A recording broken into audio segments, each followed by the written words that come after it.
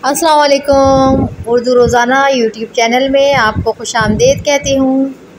मेरे चैनल उर्दू रोज़ाना को सब्सक्राइब कीजिए, वीडियो को लाइक और शेयर कीजिए और साथ में दी हुई घंटी पे भी क्लिक करें ताकि मेरी हर नई आने वाली वीडियो आप तक बर वक्त पहुँच सके। अस्सलाम वालेकुम कैसे हैं आप लोग? उम्मीद करती हूँ खैरियत से होंगे। आज हम लोग सबक नंबर दो, उम्मीद की खुशी से अल्फाज, मायने और उसके जुमले पढ़ेंगे।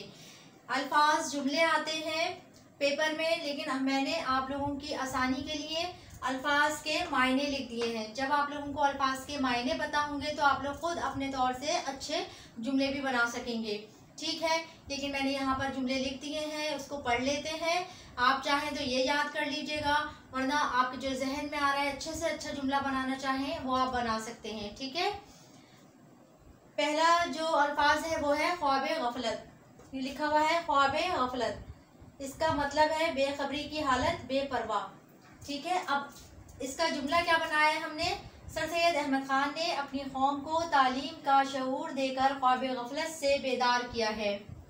आप लोग कुछ और भी बना सकते हैं, क्योंकि आपके पास ख्वाब गफलत का के मायने हैं, या आप समझ गए हैं कि इसके मायने बेपरवाह होना है। और बेखबरी की हालत है तो आप अगर चाहें तो कुछ अपने तौर से अपने जहन से भी अच्छा इससे भी ज़्यादा अच्छा जुमला बना सकते हैं ठीक है? अच्छा अब है खुश एलहान। खुश एलहान का मतलब है अच्छी आवाज़ सुरीला। हमारे महल्ले के कारी साहब नहायत खुश एलहान है ठीक है? तो आ, आप अगर चाहें तो अपनी मर्ज़ी से बना लीजिए कोई जुमला।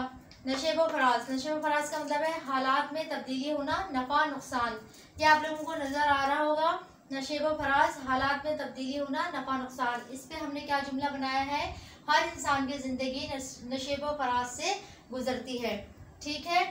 आप लोगों को मत, मतलब पता है आप लोग अपने जहन से कोई और जुमला भी बना सकते हैं चाहे तो इसको भी याद कर सकते हैं। दर्द की दवा। परेशानी में कोई ऐसी बात या कोई ऐसा अमल करना जिससे इंसान की परेशानी दूर हो जाए। ठीक है तो हमने इसका क्या जुमला बनाया है? सबर और नमाज़ से मदद हासिल करना, ये हर दर्द की दवा है। ठीक है, इसके बाद है मेहनत का फल। मेहनत का फल का मतलब है मेहनत का सिला, उजरत, मुआवजा। ठीक है इसका हमने जुमला बनाया है, दिलो जान से मेहनत करो, मेहनत का फल एक रोज ज़रूर मिलता है। तसली तशफ़ी इसका मतलब है इतमान दिलाना, दिलासा देना। ठीक है? ना उम्मीद, दिलों को तसल्ली देना, तसल्ली और तशफ़ी देना इंसानियत है। कठन घड़ी। कठन घड़ी का मतलब होता है मुश्किल वक्त, और इसका हमने जुमला बनाया है, दोस्त वही अच्छा होता है जो हर कठन घड़ी में आपका साथ दे। ठीक है? ये आप लोगों की आसानी के लिए मैंने इसके मायने भी लिख दिए हैं। और आप लोग जो है वो अपनी एक कॉपी बना लीजिए उर्दू की, और उसमें ये तमाम चीज़ें नोट कर लीजिए। पेपर के करीब जब पेपर आप लोगों के करीब होंगे तो आप लोगों को जो है आपके लोगों आप लोगों के पास जो है ना अच्छा सा नोट बने हुए होंगे।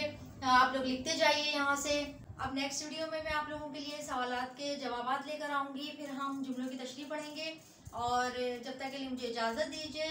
अल्लाह हाफिज़।